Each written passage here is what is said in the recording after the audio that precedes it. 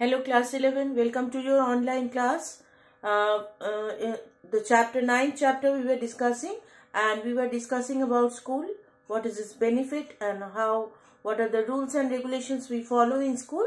Today we are going to start uh, with the limitations of the school. Now see, mm, being a formal institute uh, of education, school is having uh, many responsibilities they are looking after the um, educational part of, the, of a student how what are the development what are the requirement of the students and everything but still after discussing we can say that there are some uh, um, disadvantages or some uh, limitations of the institute named school. Now uh, as everything in our life we have some uh, whatever we are doing whatever we are receiving there are some good points and some bad points. Means something is positive and something is negative. Just like the same the school is having also some limitations which uh, we have we will point out today and uh, because um, the institute uh, is able of teaching and giving education formal education but uh, there are some uh, limitations which the school is carrying along with its um, everyday service. So let's discuss. Number one, high educational expenditure. Now as we know uh, children that uh, India is a very poor country. There's a majority of the poor people living in India are unable to uh, receive their regular uh, basic requirements like food, clothing and shelter. So how they will provide the, uh, how they will continue the expenditure of uh, a school, isn't it? When they are not getting enough money to eat, enough place to uh, uh, stay and enough, uh, they cannot afford buying clothes for their own. So how they will carry the expenditure for of the school. So that is a main problem though we all know that uh, schools is uh, school is providing us with some benefits and some uh, so uh, we also pay pay the school back something but still school is unable to teach uh, the students those who are staying in footpath those who are living because they are unable to bear the expenditure of a school. That is a number one. Number two different environmental condition. See uh, uh, being a poor country, uh, we all know that India is a diverse country in its culture, in its heritage, in its language, in all the spheres of life.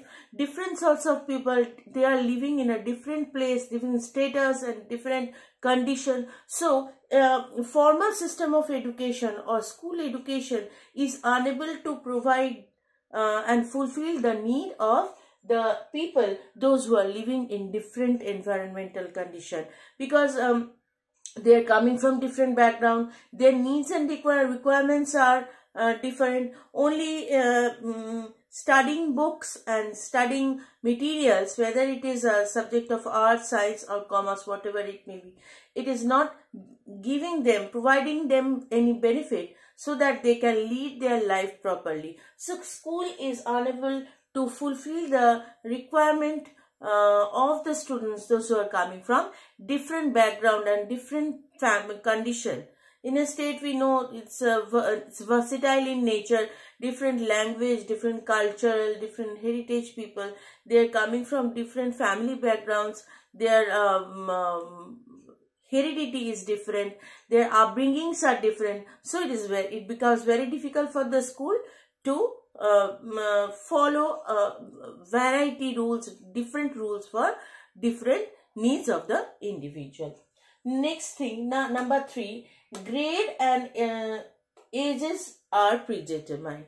That is also a very important uh, thing. See, uh, in which age, in which class you are going to enter, it is predetermined, isn't it? In an age of um, uh, four or three and a half, you are entering the school and after that class 1, class 2, class 3 you are appearing and slowly when you are coming at the age of 18 you are giving your Madhyamik exam approximately. So more or less in formal education all the stages of um, of the classes are predetermined.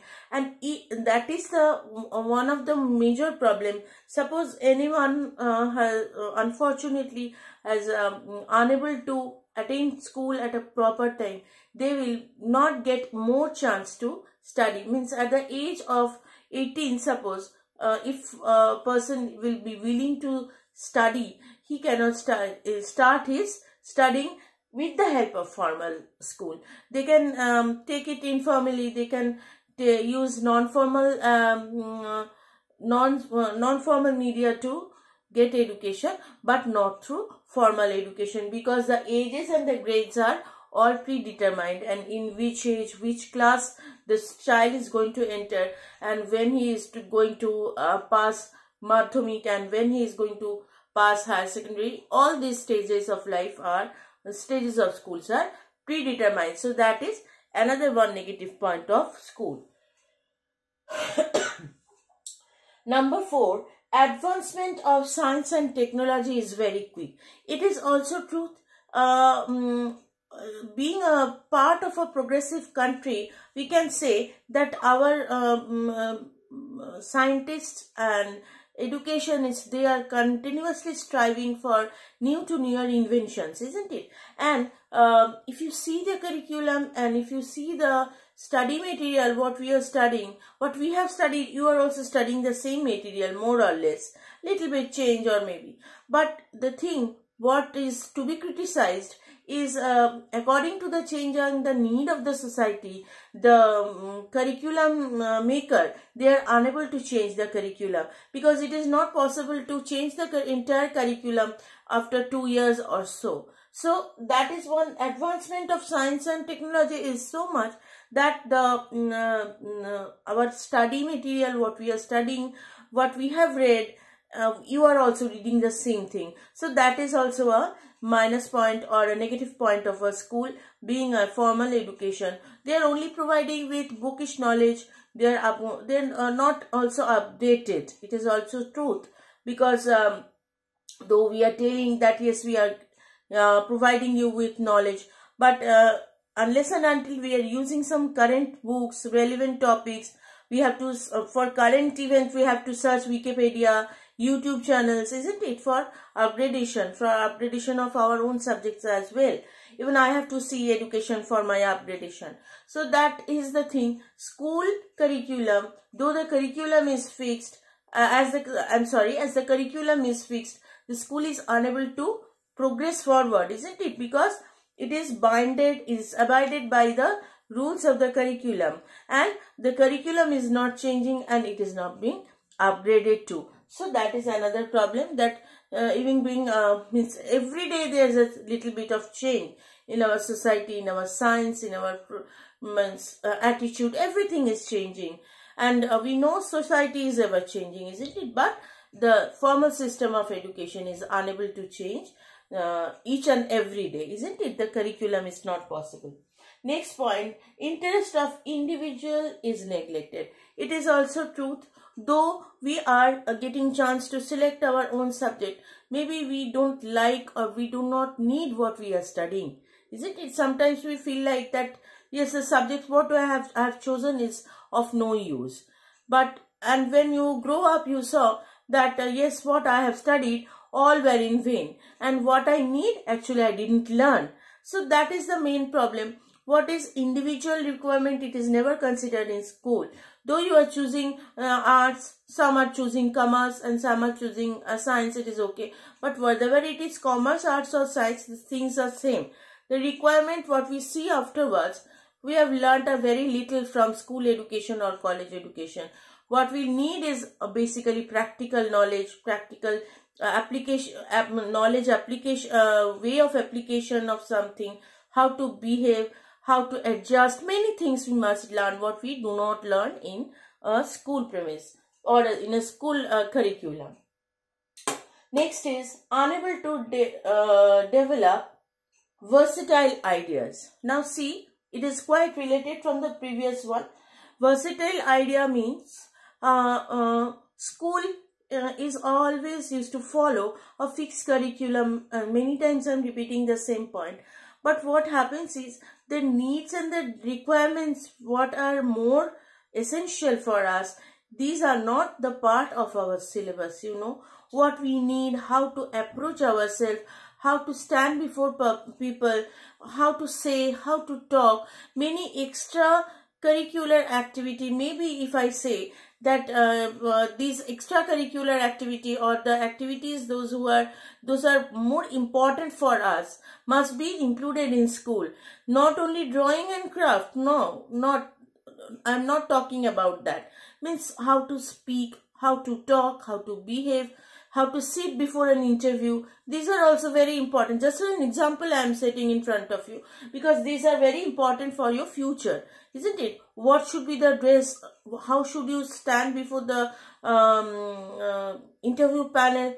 What are the uh, what are the decorums you have to maintain? Isn't it? Many things are there, and uh, if you face a problem, how to deal with that? So many practical problems and many uh, practical issues are there which are must be included in the curriculum but unfortunately there's no scope of like that. Because uh, uh, we our need is versatile in nature. Our demand is also versatile in nature. But school is unable to fulfill all this versatility or uh, the formal institution is unable to uh, provide the students with all these facilities and finally, uh, school, we all know, it is examination oriented and fails to motivate. See, uh, not only about uh, mm, uh school examination, but it is also uh, regarded with uh, different, any, if you think of any examination, palpitation starts inside our mind, isn't it? There's a little bit tension and uh, all are not having the same mentality. Some of you get nervous, some are very confident, whatever you know you write, it is okay, it is good though. But uh, the thing is, uh, it, uh, the entire education system is dependent on examination and evaluation. So somehow if you fail to give the examination or if you fail to qualify, then the problems which can occur is the um, evaluation will not be proper maybe may, it can may happen that throughout the year you have studied but at the time of the examination unfortunately you are uh, unable to give the exam. So you will not be allowed for the next class. So that is the unfortunate part um, of the school curriculum and school system that it is basically dependent on evaluation and examination which is failing to motivate the students not telling okay you study hard we will understand and we will make you pass. So there is a marks um, um, uh, means up on 50 marks you are giving exam. Some are giving 90 marks exam some are giving 100 marks exam some are giving 40 marks exam and the whatever may be even if it is of 10 marks who will get 10 marks? Who will get it 9 who will get 8 the uh, within from with your within the competition will start. Before you are motivated for um, working more you will be motivated to start your palpitations and tensions. So that is also a negative point of the school system because they are unable to motivate though the teachers and everyone are there for you but they at the time of examination they are really helpless for you. They cannot help you because at the time of exam it is your time to perform. And that is why it is unable to motivate you. And uh, these are all more or less limitations of a school. Uh, uh, uh so formal education we have finished. Next day uh, in the uh, part 11 we will start with non-formal school. It's also a very small topic non-formal education definition its characteristics and what are the limitations that we will start in the next day. Thank you.